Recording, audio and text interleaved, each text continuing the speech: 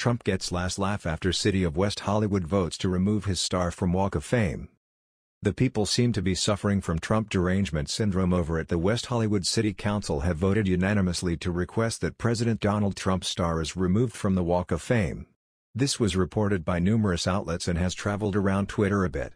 The resolution will ask that the LA City Council and Hollywood Chamber of Commerce do something about the star, and that means they want it removed permanently. However, there's something funny about all the crybabies who want to remove a star.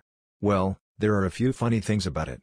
The first is that Trump will ultimately get the last laugh because the mentally bizarre people who voted on this nonsense don't even have jurisdiction over the Walk of Fame, so they can't touch it anyway. They are literally voting on something that they are not allowed to touch. If that doesn't tell you how absurd and delusional that these people are, then what will? I know exactly what will. Hollywood is filled with alleged sexual predators, pedophiles, and absolutely deranged people. What about Kevin Spacey? Nah, his star is right next to Trump's star. He only possibly touched boys, no big deal there either.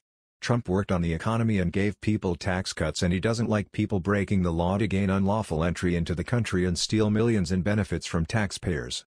That's it, get his star out of here. Trump is a horrible guy, how could they ever do a star for Trump? The people in the West Hollywood City Council are demented, right? Here are the facts from people. According to CBS Los Angeles, the council's resolution asks the Los Angeles City Council and Hollywood Chamber of Commerce to take the action regarding the star, which Trump received for his time on The Apprentice in 2007. The decision, CNN reported, is not legally binding because the West Hollywood City Council has no jurisdiction over the Walk of Fame. In a statement to CNN, West Hollywood Mayor John Duran said, the West Hollywood City Council did not pass the resolution because Donald Trump is a conservative or a Republican. Earning a star on the Hollywood Walk of Fame is an honor. When one belittles and attacks minorities, immigrants, Muslims, people with disabilities or women, the honor no longer exists. Duran added to the outlet that such a request has never been made before, but the circumstances compelled us to make an exception to the rule. Neither the West Hollywood City Council nor the Hollywood Chamber of Commerce immediately responded to people's requests for comment. This resolution comes just after Trump's star was destroyed by a man, identified as Austin Clay, 24, wielding a pickaxe on July 25. Clay was charged with a felony on Monday for the alleged vandalization, according to CBS Los Angeles. The star has also been messed with in the past. In October 2016, James Otis attacked the star with a sledgehammer and pickaxe. He received three years probation, 20 community service days, and a $4,400 fine for the vandalism. In July 2016, Plastic Jesus, a street artist, built a wall around the star to make a political statement.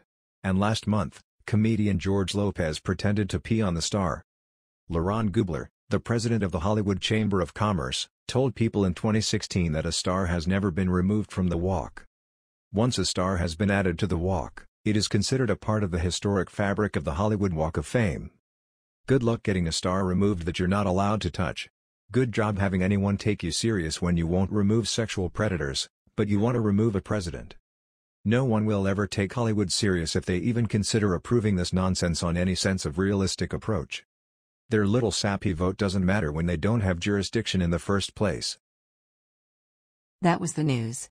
We thought you might be interested in knowing about this. Please click like and subscribe. Thank you.